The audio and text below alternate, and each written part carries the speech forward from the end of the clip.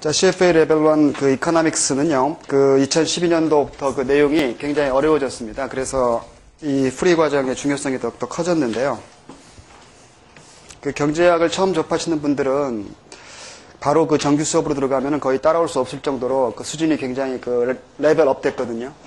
그래서 그 pre 과정의 중요성이 크다 보니까 그 기존의 스위처 노트에 나와 있는 내용을 가지고 여러분들한테 이렇게 학습을 시키면 오히려 더 혼란을 초래할 수 있다 싶어가지고 제가 사용하고 있는 이 서브 노트를 여러분들한테 소개한 거예요. 이거는 약간 그 흐름을 타가지고 이렇게 요약되어 있는 것이기 때문에 경제학을 한 번 정도 이렇게 접하셨던 분들은 뭐 내용을 다 짐작하시겠지만 그냥 일반적인 그 경제학 원론책 그, 수- 그 목차를 거의 이렇게 따라가면서 제가 이렇게 서브노트 한 거란 말이에요. 그래서 약간 흐름을 가지고 우리가 공부를 해두면 그 정규 수업에 올라갔을 때 그나마 좀 큰 도움이 되지 않을까 이렇게 생각하고 있습니다. 전체적으로 그 처음 공부하시는 분들이 있기 때문에 어, 우리가 공부해야 될 파트가요. 그 microeconomics라고 하는 그 우리나라에서는 미시 경제라고 부르는 놈이 있고요. 그 다음에 macroeconomic이라고 해가지고 이 거시 경제라고 부르는 놈이 있고요. 그 다음에 international economics 해가지고 이 국제 경제 파트가 있습니다. 이렇게. 그리고 이 국제 경제는 다시 두 파트로 나눠지는데 international trade 국제 무역 파트가 있고요. 그 다음에 international finance가 있습니다. 국제 금융 파트가 있는 거죠. 이렇게. 그 지난해까지만 하더라도 international 파트는요. 이게 다 이게 그 레벨 2로 이렇게 올라가 있었거든요. 이 레벨 1에서는 빠져 있었는데 다시 또 컴백한 거예요, 이번에. 그러다 보니까 그 기존에 있는 topic의 내용들도 좀 많이 이렇게 그 까다롭게 서술되어 있지만 이 파트까지 다시 또 컴백해버리는 바람에 내용 자체도 굉장히 많아져 버렸다는 거죠. 음, 그래서 우리가 공부해야 될 양이 의외로 많은데요, 경제학에서. 이 옛날에는 제가 이거 강의하면서 이 경제학이 굉장히 그 점수를 높이는데 굉장히 큰 도움이 될 것이라는 그래서 자신 있게 강의를 했었는데 아 올해부터는 이게 경제학이 아주 전략 과목이 될 것 같다는 생각이 들거든요.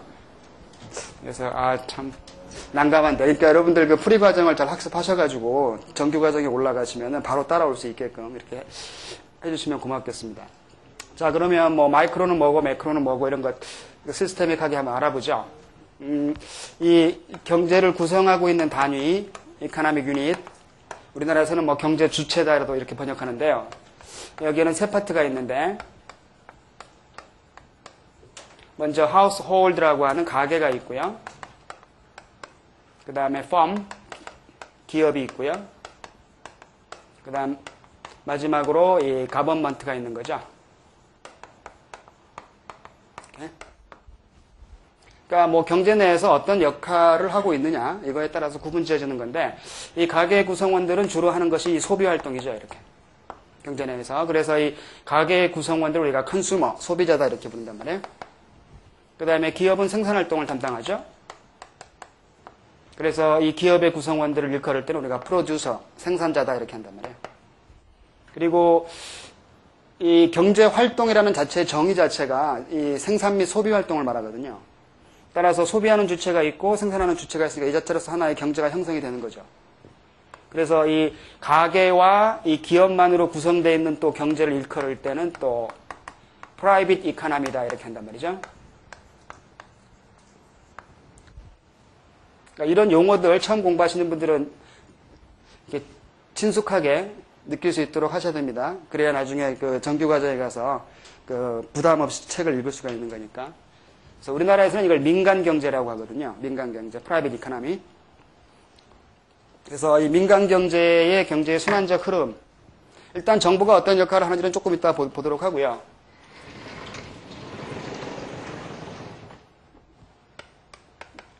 가계가 있고 그 다음에 기업이 있고 그 다음에 우리 사람들에게 필요한 물건들이 있는 거죠. 이 사람들에게 필요한 물건들을 우리가 생산물, product라고 한단 말이죠. 이 생산물이 거래되는 시장이 존재합니다. 그 다음에 이 완성물을 만들기 위해서는 생산 자원도 필요한 거죠. 그래서 이 자원이 거래되는 시장도 있습니다.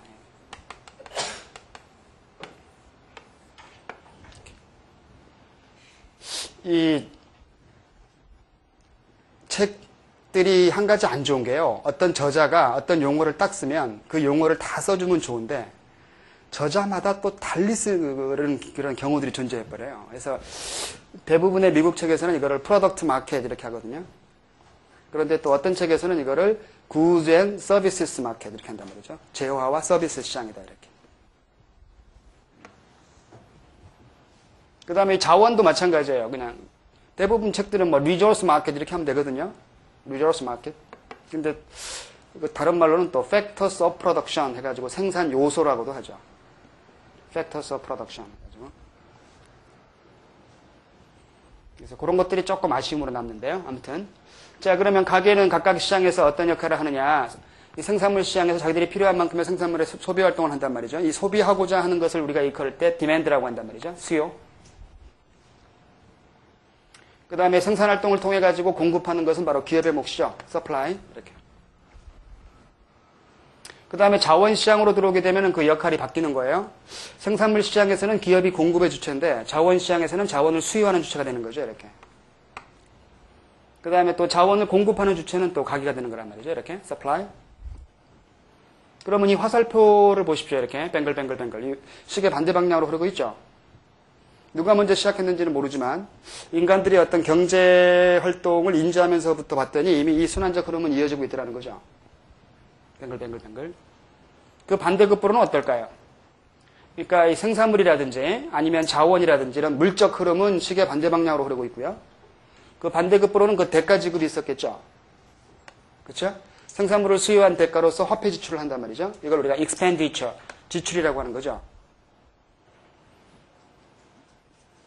여러분들도 뭐 무수히 많은 상품들을 구매하면서 수많은 화폐들을 지출했지 않습니까? 지금 뭐 이 과정을 듣는 것 자체부터가 우리가 구매 활동이니까요. 지금 여러분들은 지금 이 생산물 시장을 통해서 저와 만난 거예요. 저는 지금 여기에 소속된 사람으로 나와 있는 거죠.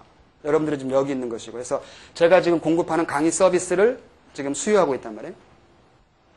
이해되십니까? 근데 한편으로 보면은요, 똑같은 시간과 똑같은 장소인데 여러분이 보는 관점에서는 저는 여기에 서 있는 사람이지 않습니까? 기업의 구성원으로서. 강의 서비스를 지금 공급하고 있으니까. 또 저 개인으로 본다면 지금 자원시장 관점에서 보면 저 또한 여기 있는 거죠. 저는 지금 몸을 팔고 있지 않습니까? 이 코스피에다가.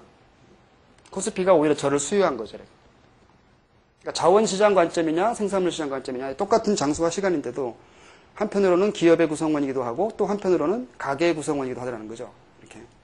그러니까 우리 직장인 여러분들이 그 직장에서 어떤 그 근무를 하면서 여러분 회사에서 파는 물건들이 있지 않습니까? 그거를 또 생산물 시장 관점에서 보면 여러분들은 기업의 구성원으로서 남아있는 거죠. 그러다가 또 근무하다가 잠깐 커피 한 잔 마실까 하면서 커피 마시는 순간에 또 소비자 입장이 돼버리니까 또 가게 구성원이 돼버리시는 거죠. 그죠? 음. 자, 그러면 그에 대한 대가 지급이 있었고요. 물건을, 그러니까 이거 바이어 입장에서는 expenditure라고 한단 말이에요. 구매자 입장에서는. 근데 판매자 입장, seller 입장에서는 이름을 달리 부르는 거죠. 이걸 우리가 revenue, 이 수입이라고 한단 말이에요. 액수는 똑같죠. 단지 바이어 입장에서 부르는 명칭이냐, seller 입장에서 부르는 명칭이냐, 그 차이만 있는 거예요. 그 다음에 자원시장으로 건너오면 어떻습니까? 기업도 자원을 수요한 대가 지급이 있었겠죠. 그 대가 지급을 코스트라고 한단 말이죠. 비용. 비용 지출을 향하는 거죠. 또 받는 사람은 이건 비용이라고 부르잖아요. 받는 사람은. 그러니까 기업의 입장에서는 이걸 비용이라고 부르는데 받는 사람 입장에서는 이걸 인컴이라고 하는 거죠. 바로 소득이라고 부른단 말이에요. 따라서 시계 방향으로는 어떻습니까? 그 화폐적 흐름이 흐르고 있다는 거죠. 뱅글뱅글뱅글. 여기에서 이 마이크로 이카노믹스 미시경제적 그 경제 분석은요. 이 각각의 경제 주체들이 각각의 시장에서 어떠한 의사결정들을 내리고 있느냐를 이걸 개별적으로 살펴보는 학문 분야로 우리가 미시경제학이라고 하는 거예요. 그러니까 여기서는 어떤 의사결정을 내리고 있고 여기서는 어떤 의사결정, 각각 여기 여기서는 어떤 의사결정 이렇게. 그러니까 말 그대로 미시라는 것은요. 이게 눈을 가늘게 뜨다 이런 거거든요. 가늘게 뜰 때 우리가 우리가 버릇처럼 어떤 우리가 관찰하는 입장에서 보시면요. 눈을 가늘게 이렇게 버릇처럼 딱 뜰 때 보면은 깊이 있게 보고자 했을 때란 말이에요. 깊이 있게. 그러니까 미시경제는 눈을 가늘게 들고 경제를 깊이 있게 보겠다는 거죠. 각각의 개별적 행동들을 하나하나 깊이 있게 관찰해 보겠다는 것이 미시경제학이고 이에 비해서 거시는 눈을 크게 뜨는 거거든요, 말 그대로. 우리가 보통 사물을 넓게 볼 때 그렇게 한단 말이에요. 깊이 있게 보지 않고.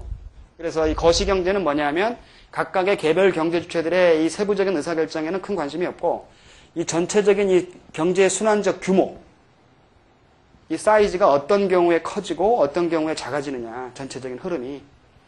이 순환적 흐름의 규모가 커지는 현상을 우리가 흔히 그 경제 성장이다 이렇게 하거든요. 경제가 성장한다는 것은 그만큼 우리들한테 물질적 풍요가 더 많아진다는 뜻을 함축하고 있다는 거죠. 따라서 우리가 뭐 어떻게 하면 성장할 것, 성장할 것이냐 이거에 굉장히 관심이 많지 않습니까? 국민 경제가. 음. 그래서 어떤 경우에 이런 것들이 그 경제 성장을 이룩할 수 있느냐 이쪽에다가 포커스를 맞춰가지고 또 경제를 분석하는 분야가 바로 거시경제가 되는 거죠. 그래서 이 거시경제학에서는 그 경제가 어떤 경우에 성장하고 또 성장을 하면서도요, 그냥 막연한 성장이 아니라 우리가 흔히 쓰는 얘기가 안정적 성장을 원하거든요. 왜냐하면 그 나라 경제 또는 국민 경제를 해롭게 하는 해악이 존재해요. 그 해악 두 가지가 실업과 인플레이션이에요. 따라서 어떻게 하면 실업도 경험하지 않고 어떻게 하면 또 인플레이션도 경험하지 않으면서 성장할 수 있을까? 그게 바로 안정적 성장이라는 거죠. 그걸 이룩하기 위해서는 또 어떤 조치가 필요하냐? 이것들에다가 포커스를 맞춰서 우리가 학습하는 분야가 바로 이 거시경제라고 보시면 돼요. international economic은 뭐 나라와 나라 간의 그 대외 거래 관계를 말하는 것이고 무역은 그냥 물건의 흐름을 관장하는 것이고 finance는 그에 대한 대가 지급이 있겠죠. 그걸 또 국제 금융이라고 한단 말이에요. 자, 그러면 뭐 처음 공부하시는 분들이 어리둥절 하지 않게끔 하기 위해서 제가 step by step으로 차분히 한번 해볼게요. 그러면 이제 우리가 공부하는 순서도 microeconomic을 먼저 공부하고 그 다음에 매크로 쪽으로 건너갈 건데요. 이 개별 경제 주체 의사결정 과정을 하나하나 봐야 된단 말이에요. 그런데 실제 우리나라만 보더라도 그렇게 그 영토가 큰 나라는 아닙니다만은 가계 구성원들이 무수히 많지 않습니까? 우리 모두가 다 가계 구성원이기도 하니까요. 우리나라 인구수만큼 많다고 할 수가 있겠죠. 그 다음에 기업도 무진장 많단 말이에요. 이 간판을 걸었다고만 해서 기업은 아니에요. 우리 경제학에서는. 개인이든 법인이든 생산활동에 임하고 있다면 다 기업으로 본단 말이에요. 그러니까 내가 시골에 살면서 내 일용할 양식을 내 스스로 구하고 있다. 이 자체도 기업이 되는 거죠. 개인으로서 기업이죠. 따라서 기업의 숫자도 무수히 많다고 할 수 있단 말이에요. 그러면 이 무수히 많은 가계 구성원과 기업의 구성원들을 일일이 관찰한다는 것은 실로 불가능하지 않습니까? 그래서 우리가 경제를 분석할 때는 각각의 대표자를 뽑는 거예요. 대표적인 소비자, 대표적인 생산자 이렇게. 그 대표자들이 어떻게 행동하고 있고 어떤 의사결정을 내리고 있냐 이걸 살펴보려고 하는 거죠. 그런데 그 대표자를 뽑는 기준이 랜덤하게 뽑는 것이 아니고 분명한 기준을 설정한 다음에 뽑는단 말이에요. 그 뽑는 기준이 바로 이놈이죠. 합리성. 그러니까 수, 수많은 가게 구성원 중에서 가장 합리적으로 행동하는 소비자를 대표자로 뽑는 거죠. 가장 합리적으로 행동하는 생산자를 대표자로 뽑는 거란 말이에요. 그러니까 경제학이 여러분들의 모든 행동을 설명할 수 있다고 생각하시면 안 돼요. 여러분들이 합리적으로 행동할 때 국한된 행동만 경제학에서는 설명 가능하다는 거지. 어떤 때는 경제 이론을 공부하다 보면 나는 그, 난 그렇게 행동할 것 같지 않은데 왜 이론에서는 이렇게 설명하고 있을까 이렇게 의심이 나는 경우들이 있거든요. 그거는 바로 이거를 간과했기 때문이란 말이에요. 가장 합리적으로 행동할 때 국한된 것만 경제학에서는 이론으로 이렇게 정립되어 있다는 거죠. 적어도 우리가 법, 그 배우는 공, 그 공부 범위 내에서는. 물론 뭐 아주 고급 이론에 가게 되면은 어, 이렇게 합리성이 떨어지는 의사결정에 대해서도 이렇게 연구한 분야도 있습니다만은 굉장히 그 양은 많지 않아도 있긴 있습니다만은 아무튼 우리가 어, 학습하는 범위 내에서는 다 이, 이놈이 흐르고 있는 거죠. 문제는 제가 학교에서도 이렇게 강의하다 보면 우리 학생들한테 이 단어의 뜻을 잘 몰라요. 우리나라 말인데도. 이 합리라는 말을 정확히 모르고 있더라는 거지. 여러분들은 정확히 아십니까, 이거? 그러니까, 실험할 때 이렇게 하는 거예요.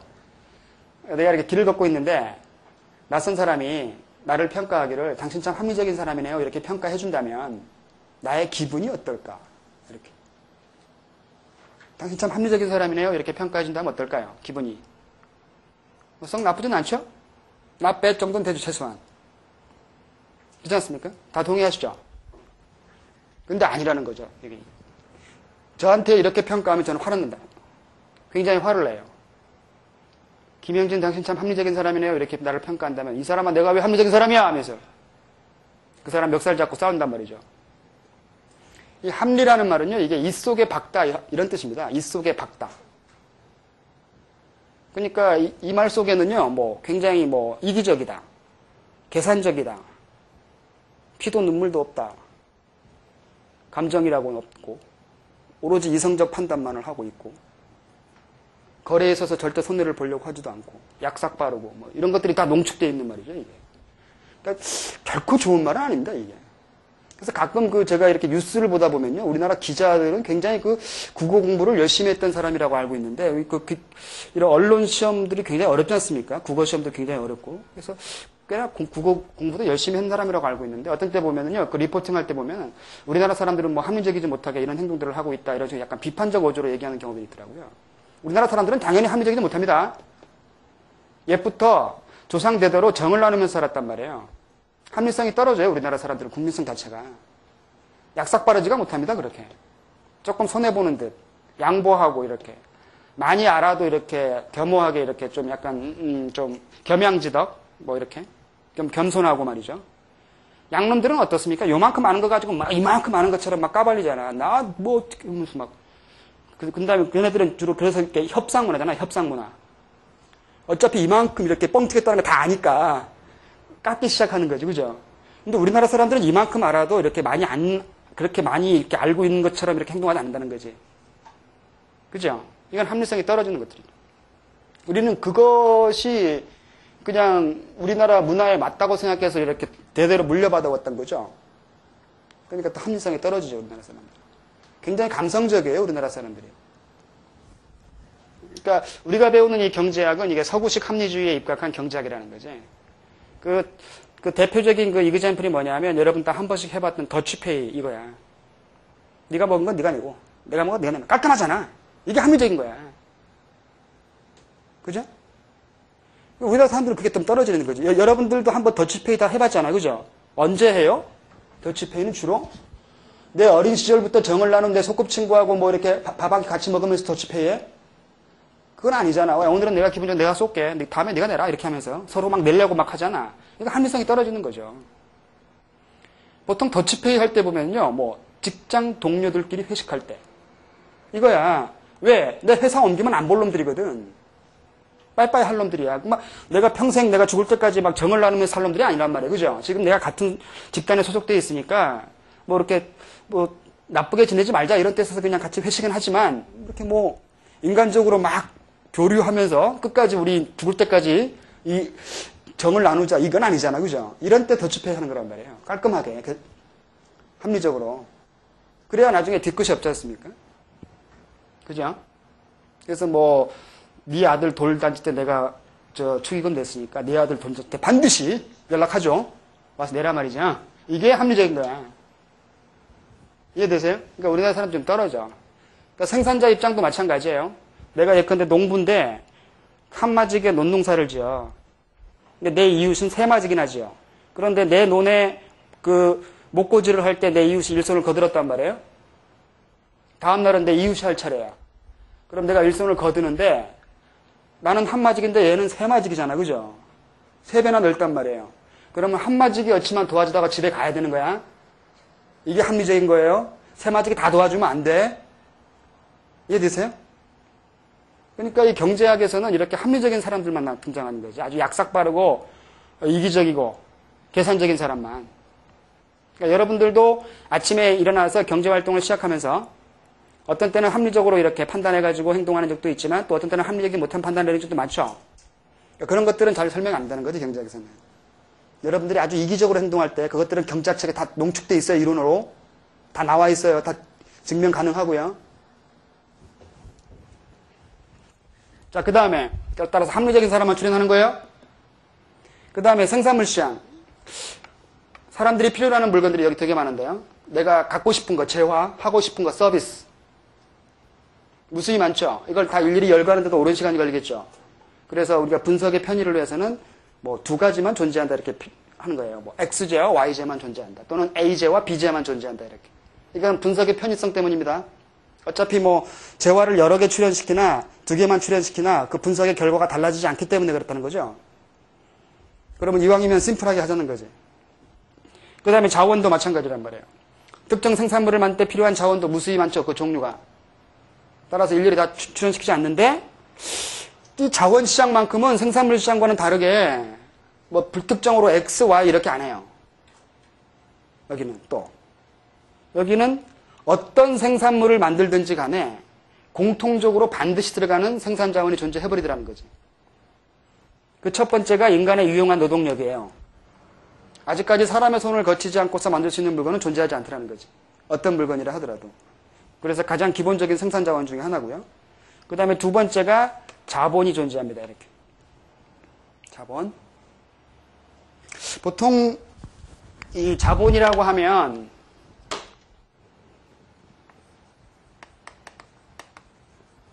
영어로 캐피털이라고 하는데요. 자본 하게 되면 여러분 머릿속에 번쩍 딱, 딱 처음으로 떠오르는 게 뭐냐 하면 돈이란 말이에요. 돈. 그죠? 그건 뭐 캐피탈 회사가 있지 않습니까? 실제로. 현실에도. 그 틀린 말이 아니죠. 그래서 우리가 보통 자본을 얘기할 때 money capital, 이 화폐 자본이라는 것이 있고요. 여러분이 이렇게 머릿속에 떠오르는 그 돈이지 돈. 그리고 책에 따라서는 이걸 money capital이라고 하는 책도 있고 financial capital이라고 하는 책도 있습니다. 그래서 뭐 화폐 자본 혹은 금융 자본 이렇게 하는 거죠. 그 다음에 또 자본에는 이 physical capital이라는 것이 있습니다. 이거는 음, 실물 자본이라고 하죠. 물건으로서의 자본이에요. 물건으로서. 그러니까 뭐 기업들이 가지고 있는 뭐 플랜, 공장이라든지 아니면 equipment, 설비라든지 아니면 뭐 machine, 기계라든지 이런 것들이죠. 그러니까 말 그대로 물건으로서의 자본을 피지컬 캐피탈이라고 하는 거예요. 근데 현- 현실에는 여러분들이 아시다시피 financial market이 존재하지 않습니까? 기업들은 자기들이 필요한 만큼의 이 화폐 자본을 끌어들이는 거죠. 어떤 행동을 취하냐면 유가증권 발행을 통해서 즉 주식이나 채권 발행을 통해 가지고 자기들이 필요한 만큼의 화폐 자본을 끌어들인단 말이에요. 그런 다음에 뭘 하겠다는 거냐면 그걸 가지고 돈놀이 하겠다는 게 아니죠. 이 physical capital을 구축하는 데 쓰는 거란 말이에요. 공장을 더 넓힌다든지 아니면 새로운 기계를 도입한다든지 이렇게. 그죠? 따라서 이 money capital 혹은 이 finance capital은 곧 이렇게 physical capital화 되는 거란 말이에요. 이렇게. 따라서 우리가 나중에 자원 시장을 공부할 때 이 capital이 등장하면 그냥 책에서는 그냥 capital에서 끝내버리거든요. 그러면 여러분들은 이걸 physical capital 개념으로 이해하시는 게 더 좋아요. 그러니까 어떤 생산물을 만들 때 인간의 유용한 노동력도 필요하고 또 한편으로는 기계 장치도 필요하다는 거죠. 그 다음에 또 하나를 꼽는다 그러면은 이렇게 토지까지 꼽는 경우가 있는 거죠. 이렇게. 그래서 노동, 자본, 토지 이 세 가지를 우리 경제학에서는 3대 근원적 생산 자원이다 이렇게 부른단 말이에요. 가장 기본이 되는 놈이라는 거죠. 음, 그래서 우리가 살고 있는 이 현대 사회는 지금 뭐 신분 제도는 없습니다만은 그래도 계급은 존재하는 거죠. 자본주의 시장 경제 내에도 계급. 그래서 우리 모두가 지금 가계의 구성원인데 어떤 생산 자원을 공급하고 있느냐에 따라서 노동을 공급하고 있다면 노동자 계급, 자본가 계급, 지주 계급 이렇게. 혹시 여기 지주 계급 계신가요? 안 계시죠? 지주 계급이면 여기 밤늦게 뭐하러 공부하러 오겠습니까? 그죠? 음. 자본가 계급도 안 계시죠? 다 이거죠, 이거? labor class. 그죠? 서글픈 labor class. 저하고 동격이죠. 그래서 노동을 공급한 대가로 벌어들이는 이 income, 이걸 우리가 노동소득이라고 하는 거죠. labor income. capital income, rental income 이렇게. 약간 꿀려 이게 그죠? 기분상으로. 꿀리는 이유가 뭐냐면 인간의 욕망은 여기 있거든요. 우리들의 모든 욕망은 무한 욕망이죠. 갖고 싶은 거 하고 싶은 거 억수로 많잖아. 그죠? 그런데 이거를 해소시켜주는 수단이 바로 이놈이라는 거지. 이놈인데 현실적으로 이 세 가지 중에서 이게 제일 약해. 그죠? 레이버 인컴이. 자본가 계급이든 지주 계급이든 노동자 계급이든 욕망, 무한 욕망은 다 똑같단 말이야. 근데 그, 그 무한한 욕망을 내가 얼만큼 실현하고 있느냐에 따라서 자기 만족감이 생기는 거지. 그죠? 근데 꿀리는 기분이 드는 이유는 이게 작기 때문이라는 거죠. 라이브 인컴이. 그죠? 현실적으로. 음. 안타까운 현실이죠. 이건, 이거는 약간 조상덕을 봐야 돼. 그죠? 조상이 좋아야 되는 것이고. 음, 자본가 계급. 좀 약간 사기 기질이 있어야 되겠죠? 뭐, 그냥 쓸데없는 물건 만들어서 굉장히 좋은 물건이라고 사기쳐가지고, 음, 그래야, 돈 많이 벌지 않습니까? 음. 이, 이게 몸으로 때우는 길밖에 없어. 정직하게 살려는. 그죠? 아세요? 그, 옛날에 그 현대그룹을 일구었던 그 돌아가신 그 정주영 회장? 그 양반이 살아생전 그 즐겨 쓰던 말 중에 하나가요. 나는 돈이 좀 많은 노동자일 뿐이요. 라는 말씀을 참 많이 하셨대요. 그러니까 이 재벌 1세들은 거의 뭐 이렇게 배고팠던 시절들이 다 있었잖아요. 이게 거의 뭐 무에서 유를 창조했다 해도 과언이 아닌데 그래서 그 초심을 잃지 않기 위한 그 많은 그 노력들을 이렇게 하신 흔적들이 있거든요. 그래서 그 정주영 회장 그 부인도요, 재벌 총수의 아내가 됐음에도 불구하고, 어, 그 김장철이 되면 동네 아주머니들하고 이렇게 모여가지고 같이 오손도손 이렇게 김장도 담고 막 그랬대요. 살아계실 때. 약간 서민적인 그런 모습들이, 흔적들이 많이 남아 있는 거죠. 재벌 1세들은. 뭐 삼성의 뭐 이병철 회장도 마찬가지일 것이고요. 근데 뭐 그 2세 때부터는 아빠가 좀 잘 나갈 때 해가지고 좀 애들이 좀 싸가지가 없어진 거지. 1세 분들은 좀 싸가지가 있으세요. 그러니까 좀 어려웠던 걸 경험했던 사람과 사람이라는 게 다 한계가 있잖아요. 아무리 돈이 많고 학식이 높고 머리를 떠나서 내가 경험한 범위 내에서 이렇게 사고할 수밖에 없지 않습니까? 그건 뭐 인간의 한계니까요. 어쩔 수 없죠. 음. 아마 저도 뭐 돈 많은 집에 태어났으면 어려운 사람들의 심정을 잘 이해 못했겠지. 근데 워낙 가난한 집에 태어나가지고 없는 사람 심정만 이해해. 그죠? 안타깝게도. 음. 근데 그 나는 돈이 좀 많은 노동자일 뿐이요라는 말씀을 참 많이 하셨다고 이렇게 그 책에 나와 있었는데 그걸 곰곰이 이렇게 한번 고씹어 보십시오. 나는 돈이 좀 많은 노동자 이렇게. 그게 돈이 좀 많은 겁니까? 그게? 그럼 뭐 그 정도가 되면 labor class라도 난 괜찮겠다. 그죠? 그러니까 여러분들 이왕 labor class가 되실 바에는 그 양반만큼 돈이 좀 많은 노동자가 되십시오. 그러면 이 밤에 수업 안 들어도 되잖아. 고생 안 해도 되고. CFA를 내가 합격하는 것이 아니라 고용하면 되잖아. 그죠? 이게 안타까운 현실이지. 아세요? 우리나라에서 가장 이 경제학이 지금 가장 합리적인 사람만 출연한다 그랬잖아요. 아, 이거 마저 끝내고 가죠. 그 분석을 할 때는 이 세 가지도 너무 많다 해가지고 우리가 이 자원시장 얘기할 때는 생산 자원은 노동과 자본만 존재한다 이렇게 할 거예요. 어차피 이 토지도 하나의 실물이거든. 피지컬이란 말이에요. 그죠? 따라서 굳이 한다면 여기도 포함시킬 수 있겠다라는 거지. 어차피 뭐 세 개를 출연시키나 두 개를 출연시키나 분석의 결과가 달라지지 않고 있기 때문에 그래서 생산 자원은 노동과 자본만 존재한다 이렇게 할 거 한단 말이에요. 그 다음에 생산물은 X제와 Y제 혹은 A제와 B제 이런 식으로 심플하게. 그 다음에 가장 합리적인 사람들만 출연한다 그랬는데 우리나라의 경제학 책의 슈퍼모델들이 계세요. 그분들이 가장 합리적입니다. 그러니까 그분들을 연상하면 경제 이론이 쉬워져요. 아, 그분들이라면 그렇게 행동할 것이다. 이렇게. 가장 합리적인 분들이 계세요. 일군의 물입니다. 성별로는 남성도 아니시고 여성도 아니시죠. 성별로는 중성평가를 받으시는 분들이 계세요. 아, 분명한 성은 계신데 중성평가를 받고 계시는 분들이 계십니다. 누군지 아세요? 예, 대한민국 아줌마입니다. 가장 합리적이세요.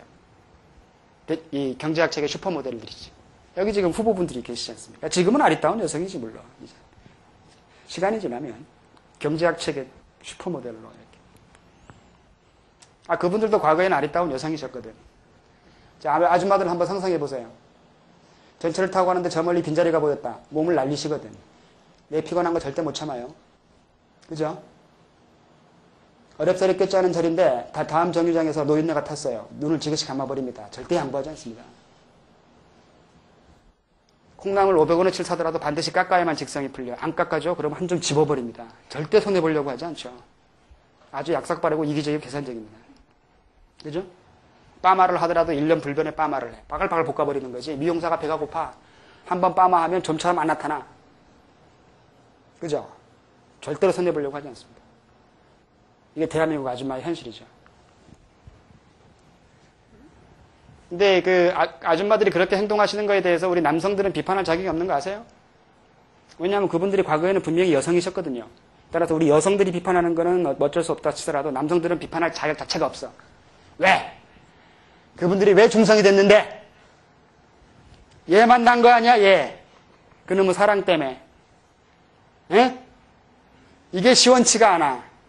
레이버 인컴이 욕망은 무한한데 애들 학원비 당하랴 뭐하랴 어? 올라가는 집세 당하랴 그러니 알뜰살뜰 가게를 꾸릴 수밖에 없잖아요. 그러다 보니까 중성이 되기 시작한 거란 말이에요. 아들이 있던 추리닝을 그냥 버리기 아까워서 입을 수밖에 없는 현실. 그게 아줌마의 현실인 거지. 얘 만나서 그래요, 얘. 따라서 우리 지금 여기 지금 수업 듣고 계시는 우리 여성분들, 물론 우리 CFA 시험 합격하는 것도 물론 중요한데, 뭐 이렇게 결혼을 하실 거 아니야. 그러면 얘 안 돼. 아, 지금은 좀 쓸쓸하니까 데꼬 놀기는 괜찮아요, 얘. 데꼬 놀기는 괜찮은데 용도가 결혼을 이제 해야 된다 싶으면 이쪽으로 건너오셔야 돼. 이쪽, 이쪽으로. 그래야 끝까지 여성으로 살다 죽을 수 있는 거야. 일로 가는 순간 100% 제가 보장합니다.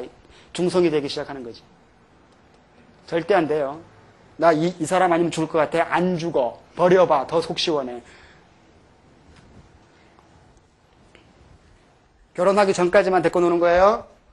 이쪽. 가능하면 저는 이쪽을 강추합니다. 지주계급 쪽으로. 이쪽 뭐 명까지 짧아지면 더 좋고요. 이쪽 애가. 그죠? 금상첨화야. 이쪽 아주 좋습니다. 강추. 난 이 남자 아니면 죽을 것 같아 진짜. 자살 충동까지 느껴. 그래도 버려. 충동까지만 느끼고. 진짜 안 된다 싶으면요. 최소한 얘가 CFN을 갖고 있어야 돼. 그게 마지노선이야. CFA도 없다. 그럼 버리세요. 의미가 없어. 이쪽으로 건너오셔야 끝까지 여, 성으로 살다 죽을 수 있어요. 낙엽지는 가을날 이렇게 시 한 편을 읽을 수 있는 여유가 생겨. 김 기사 운전해. 미세스 문 차 한 잔 부탁해. 이게 가능하단 말이야. 이쪽으로 건너와야. 음, 안 돼, 이게. 아줌마를 상, 상하시면 이, 해가 쉬워집니다. 음. 자, 그 다음에, 그럼 이제 가장 합리적으로 사람만 등장한다 그랬잖아요. 그러면 여기서 어떤 의사결정, 또 여기서는 어떤 의사결정, 또 우리가 봐야 되는데, 여러분들 가끔 물건을 구매했다가 집에 돌아와서 포장을 뜯기도 전에 후회해 본 적 있죠? 소위 말하는 충동구매 한 번씩은 다 해봤을 거 아니야. 그죠? 이 충동구매에 따르는 이 후회라는 것은요, 우리 경제학적으로 해석을 해보면, 여러분들 그, 우리 책 곳곳에 나옵니다만, opportunity cost, 기회비용이라는 말이 있습니다. 이 기회비용은 어떤 선택의 문제가 있었을 때, 내가 요걸 선택할 것이냐, 아니면 요걸 선택할 것이냐 했을 때, 요걸 선택함으로써 포기한 놈이 있겠죠? 그 포기한 놈의 가치를 기회비용이라고 한단 말이에요. 그러니까 내가 처음에 어떤 것을 물건을 이렇게 살 때는 내가 최선의 선택이라고 해서 물건을 구매했는데 집에 들어와서 재평가해 보니까 기회비용이 굉장히 크게 환산된 거지. 그래서 후회하는 거라. 이해되세요? 기회비용이 크게 환산이 되지 않으면 절대 후회라는 건 없습니다. 경제학적으로는. 오케이? 근데 경제학 책에는 그렇게 후회하는 인간들은 등장하지 않는다는 거죠. 왜? 굉장히 합리적으로 행동했으니까. 이기적으로 약삭빠르게 이해되십니까? 따라서 무턱대고 이렇게 의사결정을 내리지 않고 있더라는 거지. 분명한 어떤 목적의식을 가지고 행동하더라는 거지. 그게 뭐냐? 가게 구성원들이 생산물을 수요하거나 자원을 공급하거나 할 때 효용 극대화를 추구하더라는 거죠. 이 효용이라는 말은 이게 일본식 한자 말이에요, 이게. 우리나라 말로는 그냥 satisfaction, 만족이라고 생각하시면 돼요. 만족 극대화. 그러니까 생산물을 수요하더라도 만족이 극대화되는 양만 수요하려고 하더라는 거지. 자원을 공급하더라도 만족이 극대화되는 양만 공급하려고 하더라는 거지. 그러면 나중에 후회하지 않겠죠. 그러면 이 효용 국대화 혹은 이 만족 국대화를 추구하면서 생산물 시장에 생산물을 수요할 때 그 생산물의 가격이 있고 생산물의 양이 존재하겠죠. 그때 과연 요와 같은 수요 패턴을 보여주느냐 진짜로 이거를 검증하는 분야가 소비자 이론이에요. 그러니까 경제학을 공부 한 번 정도 해보셨던 분들은 뭐 한계 효용 이론, 무차별 곡선 이론 이런 것들이 아마 기억이 날 거란 말이에요. 거기에서 궁극적으로 증명하고자 했던 게 이거라는 거지. 진짜 수요 법칙은 성립하고 있느냐 이렇게. 이 수요 법칙이라는 건 가격이 높을 때보다 낮을 때 더 많은 양을 소비하고자 하더라는 거죠. 이 가격과 수요량과의 이 inverse relationship, 역의 관계를 말하는 거죠. 진짜 이게 성립되느냐. 그런데 이 소비자 이론에서 이걸 검증할 때 그 한계 효용 이론이 있고 무차별 곡선 이론 두 가지가 있는데 지금 우리가 그 정규 수업 과정에서는 무차별 곡선 이론이 등장한 거예요. 이번에 새롭게 2012년도에. 원래는 없었는데. 한계 효용 이론도 없었고 무차별 이론도 없었는데 이번에 새롭게 등장한 거죠. 그러니까 한계 효용 이론은 공부하지 않고 무차별 곡선 이론을 공부할 거란 말이에요. 아무튼 공부 조금 했던 분들 지금 기억 떠올리시고요. 안 했던 분들 상관없습니다. 우리 또 할 거니까. 그 다음에 기업은 기업은 어떨까요? 생산물 시장에서 생산물을 공급할 때나 혹은 자원을 수요할 때나 자기 만족 때문에 생산 활동을 하지는 않겠죠. 어, 자본주의 시장 경제에 존재하는 대부분의 기업들은 소위 말하는 그 영리 기업이란 말이에요. 이익을 추구한다는 거죠. 물론 뭐 비영리 기업도 있습니다만 부분적으로 대부분은 다 영리 기업이죠. 그래서 이윤 극대화를 추구한다라고 본단 말이에요. Profit Maximization. 그러니까 생산물을 공급하더라도 이윤이 극대화되는 이윤을 가장 크게 남길 수 있는 양만큼만 공급하려고 하더라는 거지. 그 다음에 자원을 사들일 때도 마찬가지라는 거죠. 그러니까 이 자원을 사들인다는 것은 뭐 쉽게 얘기해서 예컨대 노동이라는 생산 자원이다 그러면 종업원을 몇 명 고용할 것인가 이거죠. 또 공장은 또 얼마큼 지을 것이냐 이놈은 이거란 말이에요. 그때도 마찬가지로 이윤은 가장 크게 남길 수 있는 양만큼만 종업원도 고용하려고 하더라는 거지. 이해되십니까? 그랬을 때 과연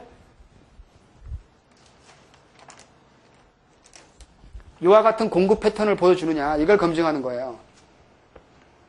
이건 또 우리가 흔히 그 공급 법칙이라고 한단 말이에요. 이건 어떻습니까? 가격이 낮을 때보다는 높을 때 더 많은 양을 공급하려고 하고 있더라는 거죠. 이거는 그러면 생산물 시장에서는 서로 다른 의사결정을 내리고 있지만 각각 이 소비자와 생산자가 시장에서는 서로 만나고 있는 거죠. 서로 다른 의사결정을 내리고 있지만 서로 막 충돌하고 있단 말이에요. 그러니까 파는 사람 입장에서는 그게 자원이든 생산물이든 파는 사람 입장에서는 비싸게 팔려고 하고 있고 사는 사람 입장에서는 싸게 살려고 하는 거지 무조건.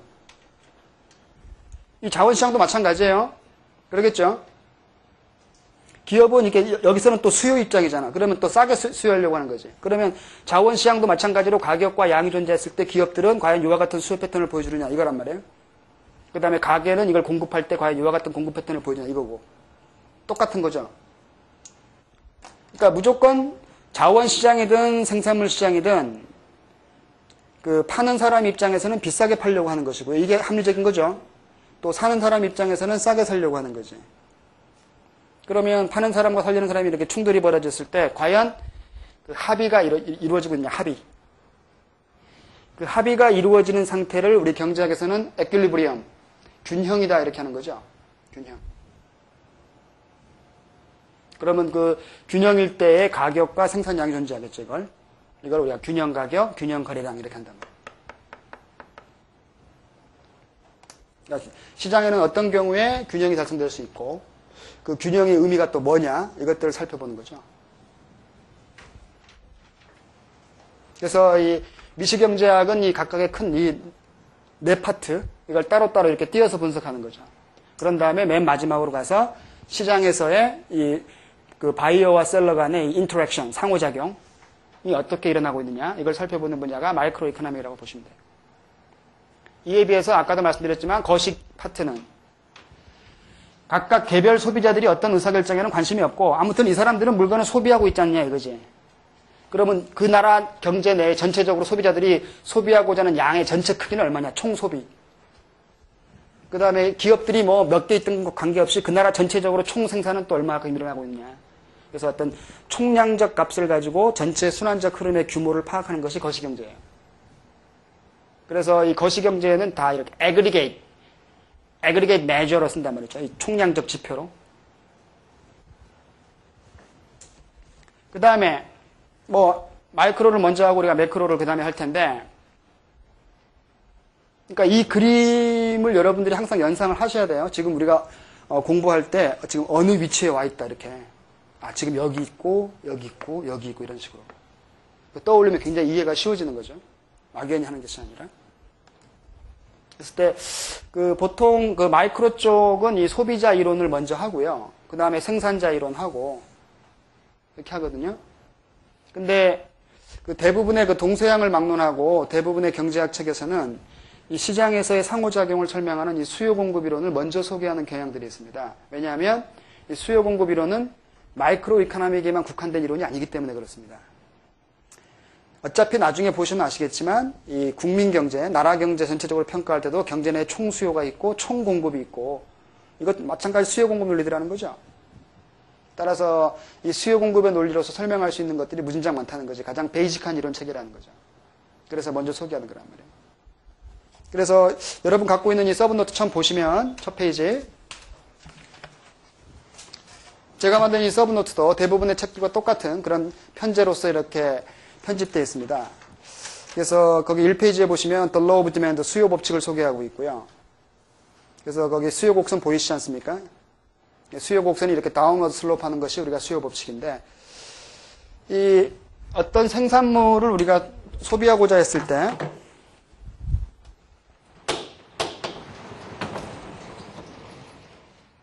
아, 이거, 아, 이거 설명 안 했구나. government는 뭐 합니까? 이 사기꾼들은?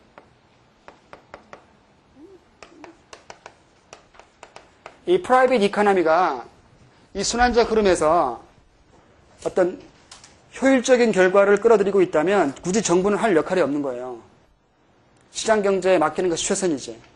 그런데 이 private economy가 이 생산물 시장과 자원 시장의 순환적 흐름에서 이렇게 매끄럽게 효율적으로 재배분을 못 시켜주는 경우들이 발생하더라는 거죠. 그래서 그 economic efficiency를 위해서 경제적 효율성을 위해서 정부가 이 private economy를 컨트롤하기 위해서 등장한 거죠. 더 효율성을 더 보장하기 위해서 경제 내 그런데 원래는 그 목적으로 정부가 들어왔는데 또 정부가 들어오니까 더 비효율적으로 결과를 낳는 경우들이 발생하더라는 거죠. 실제로도. 그럼 또 정부가 들어와서 오히려 비효율을 낳는 경우는 또 어떤 케이스가 있는 것이냐. 또 이런 것도 우리가 학습을 할 거예요. 원래는 목적은 그 효율성 때문에 등장한 건데 정부도 어차피 다 실제로 일하는 사람들은 인간들이잖아요. 인간은 뭐 완벽, 완벽할 수가 없는 거니까. 그렇죠? 또 너무 잘하려다 보니까 오히려 역효과가 나오는 경우도 존재하는 것이고요.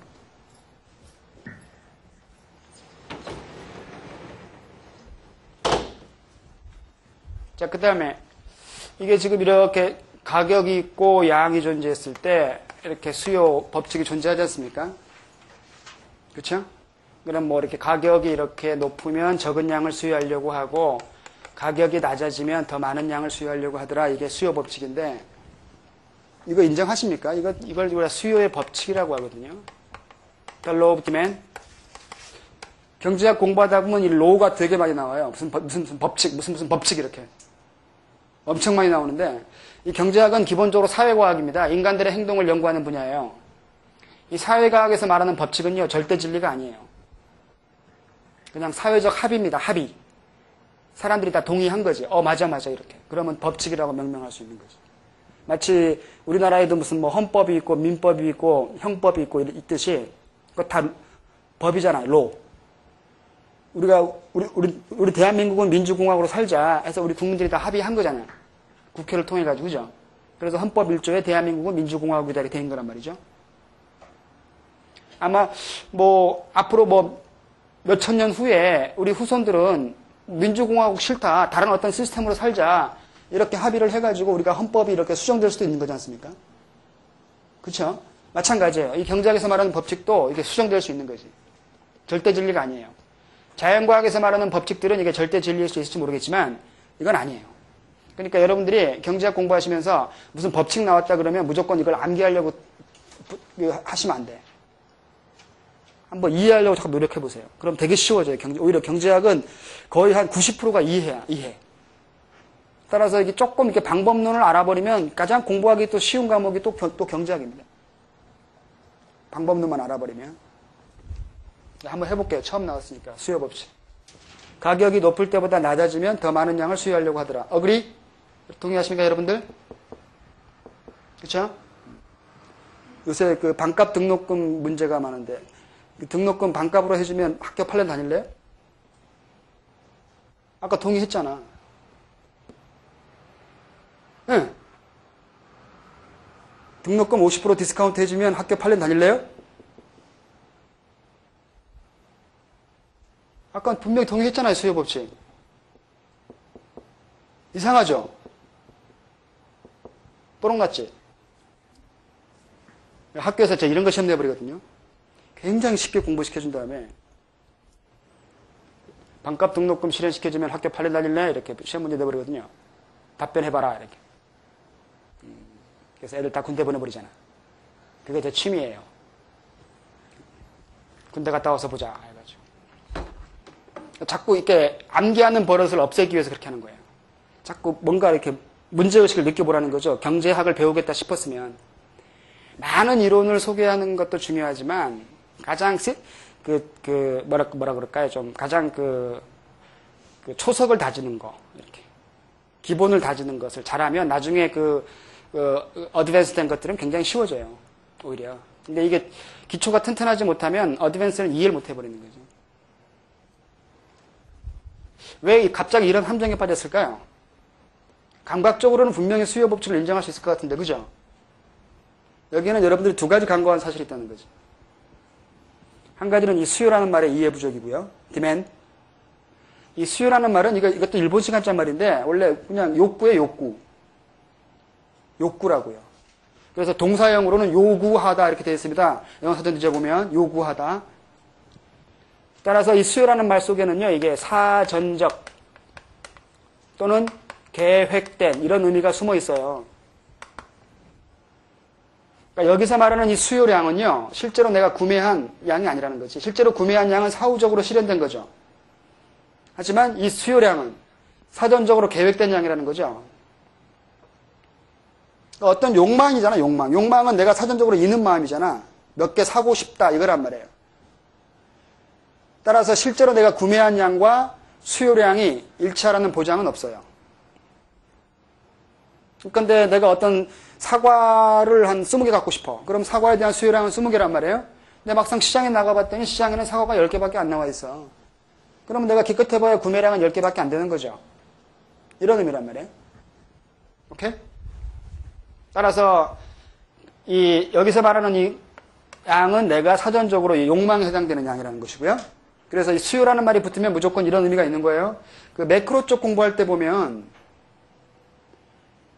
그 여러분들 그 소비라는 말이 영어로 consumption이라고 하지 않습니까? 근데 consumption이라는 말이 있고 또 명사형 두 개를 붙여가지고 consumption demand라고 또 할 때도 있습니다. 그런 건 소비 수요라고 하거든요. 그러면 그냥 consumption과 consumption demand는 다른 거예요. 이 demand라는 말이 붙으면 실제로 소비한 양이 아니라 사전적으로 계획된 양이라는 거지. 소비량이. 오케이?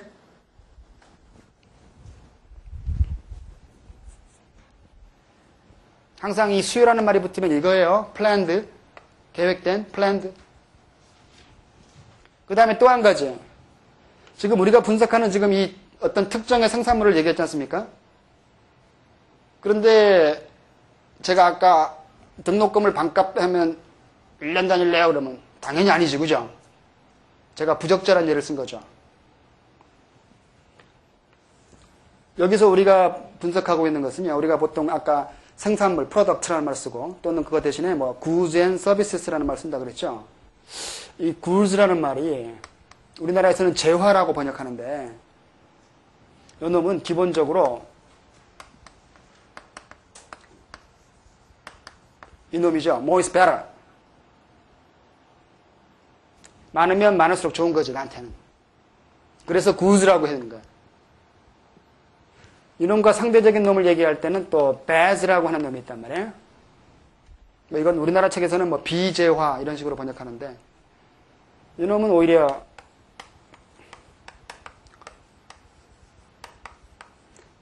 less is better. 오히려 적으면 적을수록 좋은 놈이지 우리한테. 어떤 것이 있습니까, 여러분? 없으면 더 좋은 거. 뭐, 근데 뭐, 미팅할 때 폭탄? 폭탄은 제거시켜야잖아, 그죠? 뭐 그런 거지, 배스는. 훈남, 이런 것들은 다 구주지. 오케이? 그래서 경제학 책에는 뭐, 이거, 이거, 이거 제품로 얘기할 때 뭐, 공해, 또는 뭐, 쓰레기, 이런 것들 우리 생활 주변에 없으면 좋죠? 우리가 원하는 것을 이렇게 쾌적한 환경이잖아요. 따라서 뭐 이렇게 펄루션, 공해라든지 아니면 가비지 이런 쓰레기 같은 것들이 대표적인 배즈다 이렇게 한단 말이에요. 그러면 이것들은 오히려 적으면 적을수록 우리가 더 만족을 더 증가시켜주는 거죠. 그래서 학교는 어떻습니까? 구주라기보다는 약간 이쪽에 더 가까운 예였죠, 사실은. 우리는 학교는 빨리 졸업하고 싶잖아요. 빨리 졸업해서 지금 사회에 빨리 나오고 싶었잖아요. 그죠? 따라서 그 적절한 예라고 볼 수는 없다는 거죠. 그래서 여러분들이 함정에 빠져버린 거예요. 우리가 앞으로 분석하려고 하는 것들은 이놈의 국한에서 공부할 거예요. 이놈이 아니라. 오케이? 구주를 분석한단 말이야. 평소에 내가 무심장 갖고 싶은 놈. 무심장 갖고 싶은 놈. 따라서 내가 평소에 얼마나 엄청 갖고 싶었는데 가격이 낮아지면 어때요? 더 사고자 하는 욕망은 일들하는 거죠. 실제로 사라는 보장은 없지만 욕망은 일들하는 거지. 그래서 우리가 이 법칙이라는 말을 인정해 줄 수 있게 되는 거예요. 오케이? 잠깐 쉬었다 할까요?